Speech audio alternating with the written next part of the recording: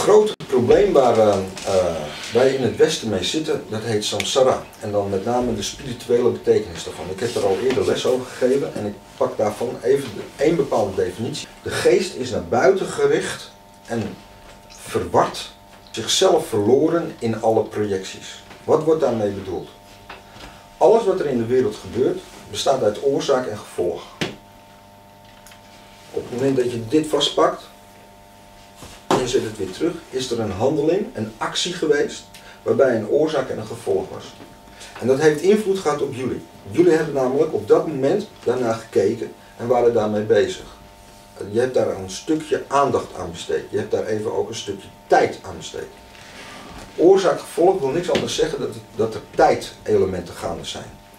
Een oorzaak geeft een gevolg en dat gevolg is oorzaak van een nieuw gevolg. En zo loopt eigenlijk, zeg maar, als een soort van rode draad een energie door. En dat is niet alleen bij jou persoonlijk, maar dat is met alles. Met objecten, met subjecten, noem maar op. Alles is onderhevig voortdurend aan verandering en oorzaak en gevolg. Wat er nu gebeurt is dat je zoveel bezig bent met die oorzaken en gevolgen. Met andere woorden, je bent zoveel bezig met de actie die gaande is, dat je jezelf vergeet.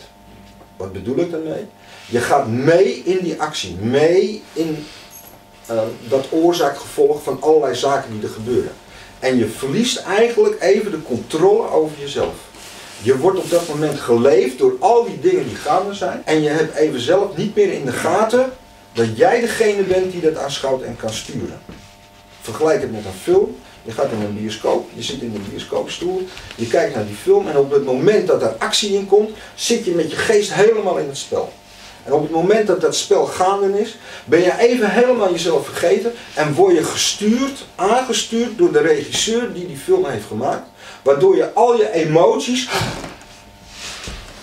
dat verdriet, alles wat er gebeurt, zit je in de film. Je bent even helemaal los van jezelf. Nou, eigenlijk is het leven één grote film waarin ontzettend veel actie gebeurt en waarbij de belangrijkste acteur, namelijk jezelf, helemaal vergeten is. En doordat in het echte leven, anders dan een film, veel meer zintuigelijke waarnemingen zijn. Want bij film heb je alleen maar audio, het geluid en uh, visueel, uh, het beeld om het zo te zeggen. Misschien dat je nog dingen kan aanvoelen. Van, zie je wel, daar komt die moordenaar, om het maar even te zeggen. Je, je ziet hem niet in beeld, maar je voelt dat hij aankomt en het wordt steeds spannender. Je derde oog gebruik je dan, om zo te zeggen. Maar in het echte leven heb je ook nog zaken als tast. Heb je ook nog zaken als reuk. Heb je ook nog zaken als smaak heb je ook nog zaken waarbij al die combinaties nog eens mogelijk zijn. Dus al die oorzaken en gevolgen in die buitenwereld, die zorgen ervoor dat jij helemaal naar buiten gericht bent. En jezelf eigenlijk kwijt bent. En wat er dan gebeurt is dat je zoveel indrukken krijgt, dat je zelf niet meer kan aansturen. Je wordt geleefd in plaats van dat jij dingen organiseert en aanstuurt en regisseert. Als je dus in zo'n staat leeft, kun je je dus ook veel minder concentreren. Sterker nog, je concentreert helemaal niet. Je bent alleen maar met dingen daar bezig en niet vanuit jezelf.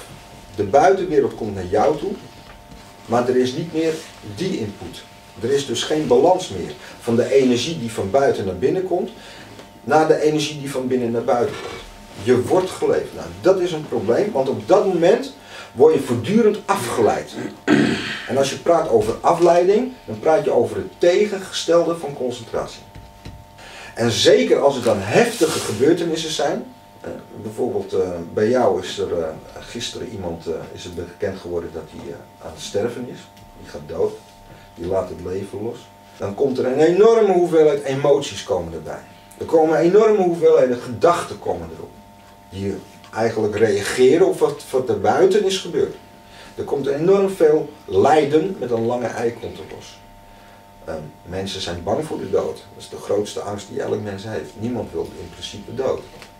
Um, dingen als uh, dat je het leven wil vasthouden. die, die bijna, laten we zeggen, dat je helemaal verkrampt raakt van dingen. Maar ook andere dingen zoals eenzaamheid, of pijn, of verdriet. Al, dat soort zaken komen daardoor eigenlijk helemaal los. En die gaan je eigenlijk helemaal beheersen. En je wordt verward. Door heel veel gedachten, door heel veel emoties word je verward. En als het heel ernstig is, word je zelfs gefrustreerd. En wat er dan gebeurt is dat je boos wordt. Dat wil ik niet! Ja? Je gaat je afzetten van dingen. Of je wil juist nog meer dingen hebben. Een soort hebzucht krijg je. Een soort graaikultuur krijg je. Nog meer geld.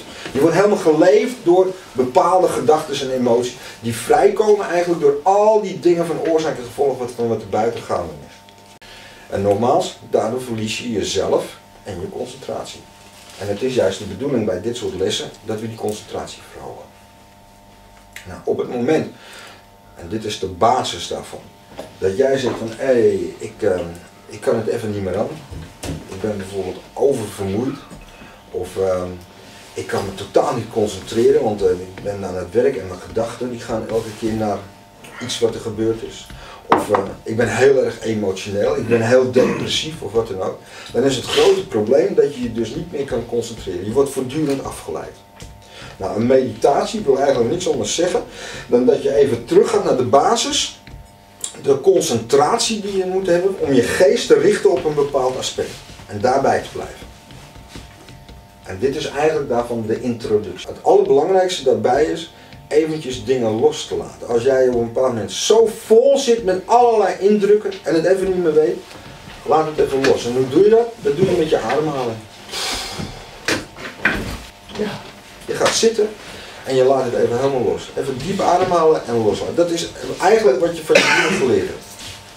Ja, dan op het moment dat je het even loslaat, komt ogenblikkelijk komen die dwangmatige gedachten, die neurotische bewegingen, die, die actie die je wil hebben, de gedachten, de emoties die allerlei vormen aankomen, die komen weer opzetten. En wat is nou deze eerste vorm, deze basismeditatie, die overigens samatha heet, wil eigenlijk niks anders zeggen dan dat je even naar binnen kijkt en alleen maar luistert naar je ademhaling. Wat je doet is, je luistert naar het inademen en het uitademen. En zoals je misschien weet, dat als je, als je emotioneel erg opgewonden bent, dan op dat moment ga je ademhaling gaat ook sneller. Op het moment dat je naar binnen kijkt, even rustig gaat zitten, beide benen op de grond, even naar binnen kijkend, je ogen op een bepaald vast punt neergezet, je kijkt naar binnen en je luistert naar je ademhaling, op dat moment stabiliseert vanzelf je ademhaling. Inademen, uitademen. En daarvoor vind je ook dus altijd een bepaalde code die hier op alle computers staat. Als je de computer opstart, dat is Om Ma Hum. Zo heet het in het, in het Tibetaans. Om, inademen, A, even vasthouden, Hum, loslaten, uitademen. Op het moment dat je dat een aantal keren doet en je concentreert je alleen maar op je ademhaling, dan stabiliseer je. Dan word je wat rustiger. De gedachten worden minder, je emoties worden wat minder. Wat is nou de kern eigenlijk van deze beginmeditatie? Dat is als je een glas water neemt uit de gracht, is het heel erg troebel. Als je dat glas water een tijdje laat staan, zul je zien dat die troebeling, die modder, die valt naar beneden. En dat gebeurt eigenlijk ook met je geest. De, de modder die bezakt, bezinkt en het water wordt helder. Kijk naar een groot meer, een meer, of als je van het weekend uh, eventjes uh, een lekkere wandeling gaat maken. Als het heel rustig water is, is het water ook blauw. Het wordt helderder. Nou, dat is eigenlijk ook met je geest. Op het moment dat je vol zit met gedachten en emoties, is het heel erg troebel. Op het moment dat je even tot jezelf komt, even gaat zitten, even luistert naar je ademhaling, op dat moment wordt je geest wat helderder. En doordat je helderder bent, kun je dingen ook duidelijker zien, kun je het ook beter aansturen.